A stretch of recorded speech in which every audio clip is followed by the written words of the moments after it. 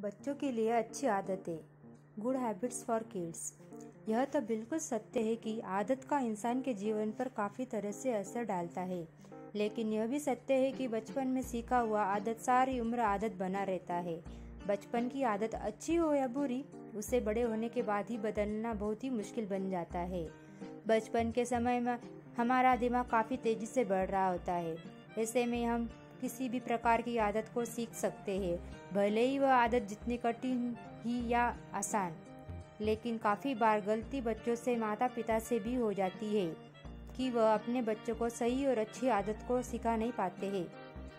इसको देखते हुए हम यहाँ पर बच्चों के लिए अच्छी आदतों को लेकर आए हैं।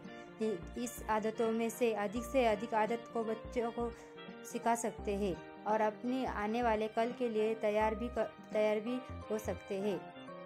माता पिता की भी ज़िम्मेदारी है कि वह अपने बच्चों को अच्छी से अच्छी आदत और ज्ञान दे और अपने बच्चों को बुरी आदत से बुरी आदत से दूर रखे।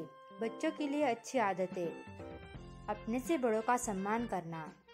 हमेशा सच बोलना। झगड़े ना करना। किसी के कमरे में जाने से पहले इजाज़त लेना। पौष्टिक आहार लेना। मोबाइल फ़ोन का इस्तेमाल ना करना रोज़ सुबह ताज़ा होना रोज़ पढ़ाई करना किसी को हानि ना पहुंचाना, समय का कदर करना साफ़ सफ़ाई का ध्यान देना अपने चीज़ दूसरों के साथ साझा करना सो कर पढ़ाई ना करना साफ़ और स्वच्छ कपड़े पहने अपने सामान को सही जगह संभाल कर रखें। आपको यह वीडियो अच्छी लगे तो चैनल को सब्सक्राइब करना ना भूलें। Thank you.